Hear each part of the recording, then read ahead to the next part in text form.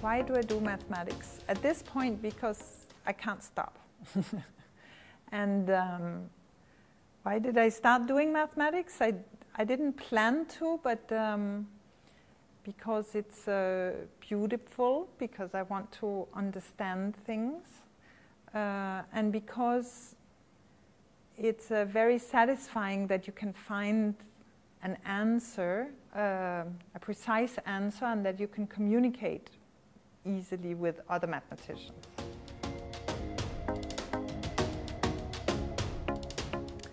Yes, so my research is uh, between algebra, abstract algebra, and uh, topology. So algebra is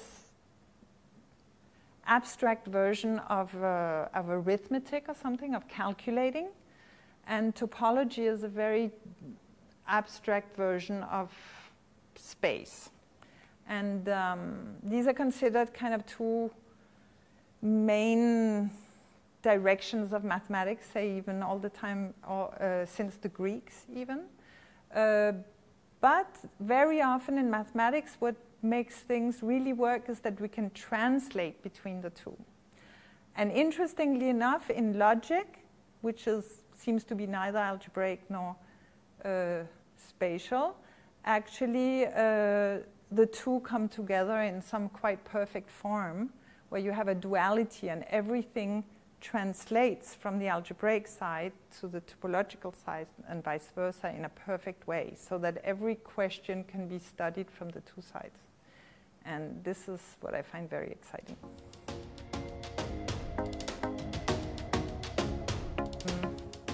Actually, I, I went to elementary school in uh, Algeria, in French school, in the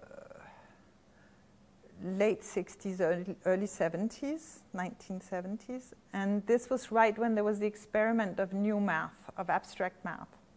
And, um, and so I was a product of that. And this, I think this is actually why I became a mathematician, because it was not a great success. It was not viewed as a great success, but for me it was amazing. So in first grade, we learned to do addition and multiplication, but for each problem it was given which base. And we did every base between 2 and 11. And we especially loved 11 because then we got to make our symbol ourselves, one symbol ourselves. Uh, and it wasn't until second grade that we were told, oh, by the way, in this culture at this time we use base 10. Uh, apart from that, we did functions, we did binary operations, we had to check for commutativity or absorbing elements or see whether the function was injective, surjective, things like that. So this was, this was the math we had in the first years of school, and I loved it. Then later in high school, I went to Danish school, and there, math is just handmaiden of physics. And so this I was not very happy with. And I got much more interested in history and art and things like that. But then for university, I went to the US, and I happened to be in, in, in Texas. And I fell under the spell of Texas topologists and they make you rediscover mathematics from scratch. And then I completely fell in love with math and I stopped doing art. so this is kind of my progression through uh, to get to mathematics. Yes, so in terms of uh, big mathematical moments um, in my life, uh, I would say the, the first one was while I was working with Bjarni Jonsson, who's uh, an Icelandic mathematician actually, but who worked in the US. Um, we were trying to understand uh, stone duality. So this is a duality between lattices, which is like the basic structure of a logic in terms of and and or and the spatial version of it, which has spectral spaces. Okay, we're trying to understand.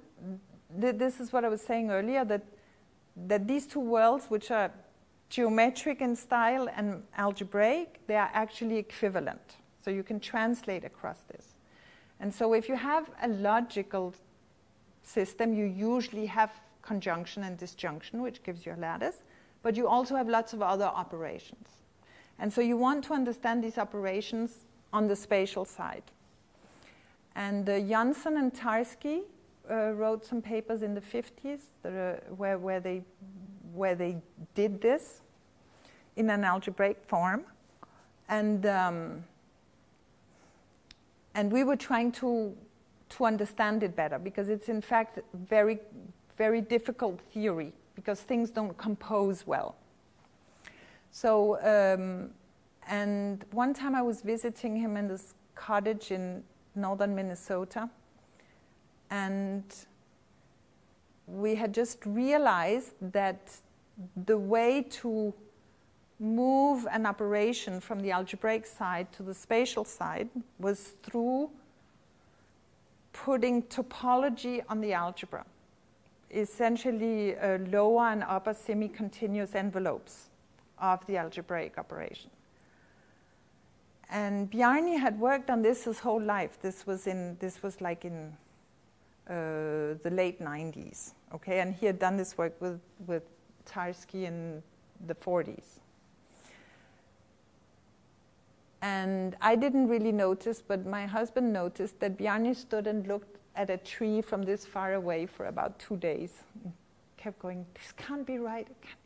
And, and it, was, it was just such a fundamental discovery that just came to us in one moment there in the middle of the nature for no good reason, and that had such broad consequences for how the whole theory worked um, that it, it, was, it was an amazing moment. And it, it ended up, you know, the, the, to get a bit technical, the, the thing is that the extension depends on a different topology on the domain and the codomain.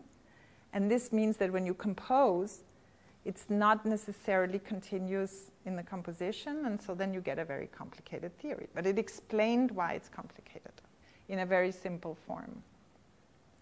So this, this was a very exciting moment.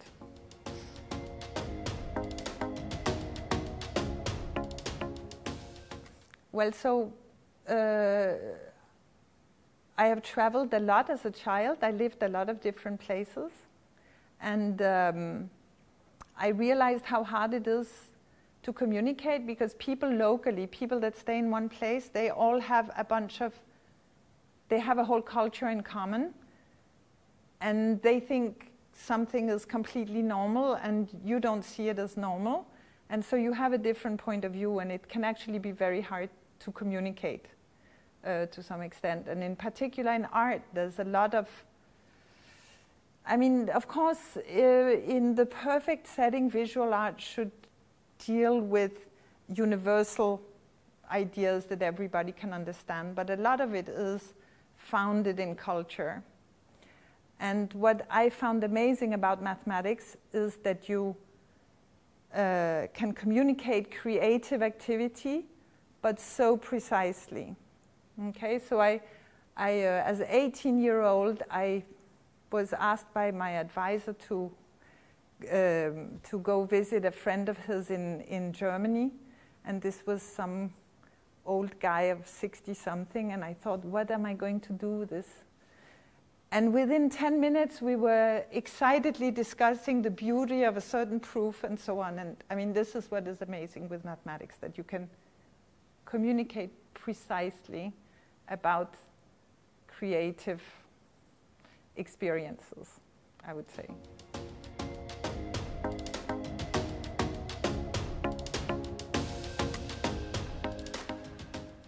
So, when I had a, I had a chair in the Netherlands, and at that time, I had to give, they have this uh, uh, tradition that you have to give an oratie. And I, and I wrote this oratie, it's available on the internet, where I tried to explain this. But to give a, a short version, um, I think a main thing is exactly the fact that it is a creative process based on trying to understand something deeply. Okay, so it's driven by some kind of need or want to understand something um, and to express it. Um, and um, so, one way you can see it is kind of in the motivations. I had a lot of friends when I was in, in, in graduate school that were artists, and we had very similar ways of talking about that you need to do it. You know, you don't, you don't choose this because it's glamorous or it makes you a lot of money or whatever. It's because you have to. Okay, so that's already, I think, an indication of a commonality. Um, uh, another thing is that, that you get like breakthroughs, right? I think if you talk to mathematicians, you very often hear that you're stuck, you're stuck, you're stuck, and then without you doing anything, all of a sudden you know, you know how, what, what the answer is, how to do it.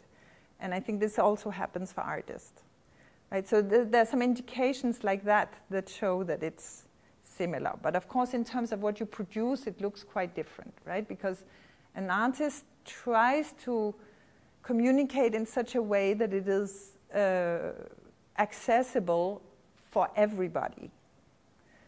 Whereas in mathematics, we, we have a very precise language and it's only accessible if you know this language, and not only that, you work very hard to understand what it says, right? So it's, so it's kind of at the opposite ends of the spectrum in terms of how you try to communicate uh, and what you can communicate. But I think in terms of the process and your, and your drive to do it, it's extremely similar. That's what I would say.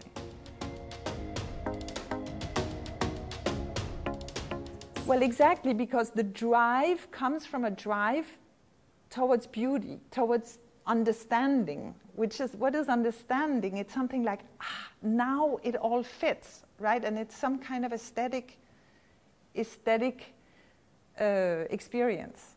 I would also say, I mean, I've had a lot of, I've tried to do a lot of things to promote math among kids and among women and among in lots of different situations. And very often, other mathematicians want to talk about yes, math can make MP3s and it can make this and it can make a lot of things that we are very happy about in society.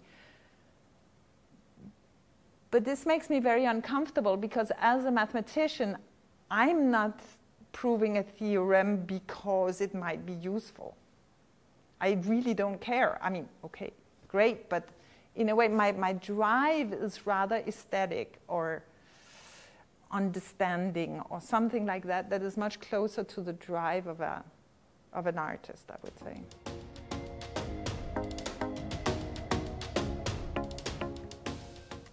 Well, you know, I'm, I have spent my whole time doing mathematics. I'm not a sociologist. So this is always a problem. You know, it's like if you meet a giraffe in the zoo and you ask them what, what should you do for giraffe, they don't know anything about it, right? So uh, you should rather ask a zoologist or something like that. So I don't really know um, the answer to that. Um,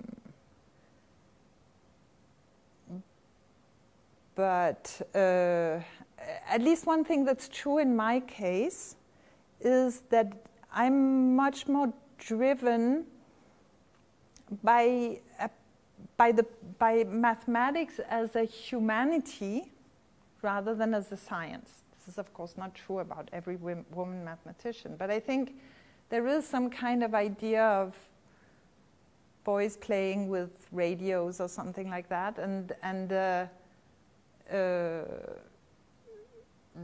but I think it's important to know that there's also another access to mathematics, which is rather through philosophy or through language or through, you know, through something that's much more like a humanities endeavor. And that, that I think is one way to make it, make it accessible, at least, and interesting for a larger part of the population, whether it's men or women. But it might catch some women, is what I would think.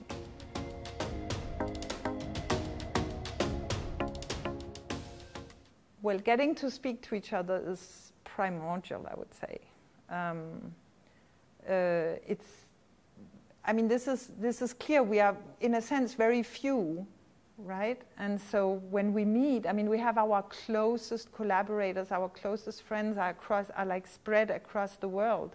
So when we meet in a center like the CIRM, this is when we get to exchange ideas and, and listen to each other and see what, what we are doing. And that's extremely important.